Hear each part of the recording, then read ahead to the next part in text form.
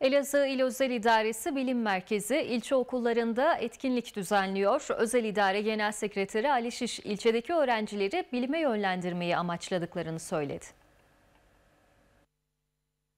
İl Özel İdaresi Bilim Merkezi ilçelerde de faaliyetlerine devam ediyor. Merkez, ilçe ve köy okullarını ziyaret ederek bilimsel çalışmalarla ilgili öğrencileri etkinliklerle bilgilendiriyor.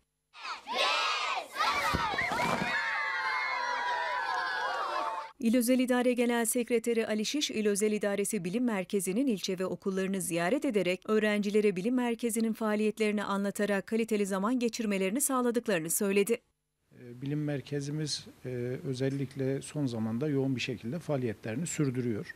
Buradaki amacımız tabii farkındalık oluşturmak. Özellikle öğrencilerimizin e, kitaplarda gördüğü veyahut da okuduğu e, deneysel, bilimsel hususları uygulamaya yönelik olarak görmelerini sağlamayı amaçlıyoruz.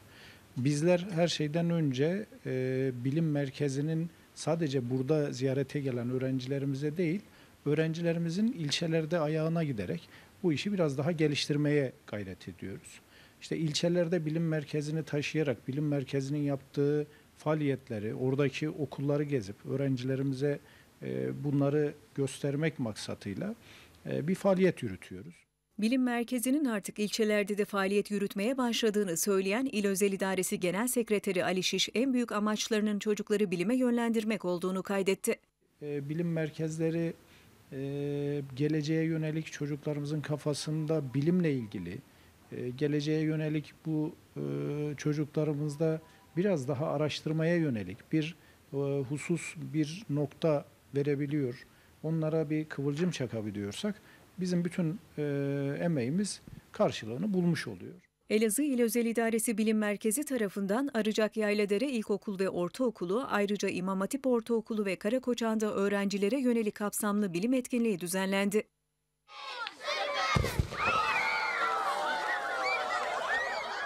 Yapılan deneylerle bilim eğlenceli yönüyle anlatıldı.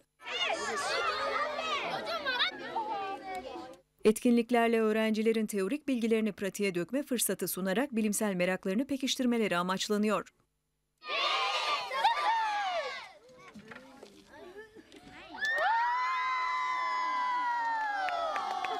Etkinliğe katılan çocuklar hem etkinlikten hem de verilen hediyelerden memnun olduklarını söyledi.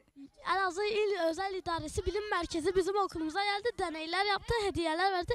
Hepinize çok teşekkür ediyorum. İl Özel İdaresi'nden bizi ziyaret etmeye geldiler. Bize hediyeler verdiler, e, deneyler gösterdiler bize. Yeni deneyler öğrendik. E, oh, geldikleri için teşekkür ederiz.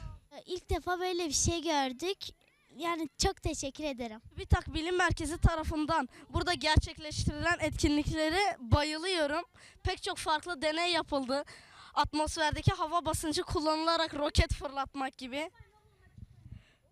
Fil dişi deney yapıldı, beyaz fil dişi. Daha pek çok deney yapıldı ama sayamayacağım kadar çok ve güzellerdi. Arıcak Milli Eğitim Müdürü Fethi Kılınç, öğrencilerin derslerde öğrendiklerini uygulamalı olarak deneyimlemelerinin ve hatta yaparak öğrenmelerinin önemine vurgu yaptı.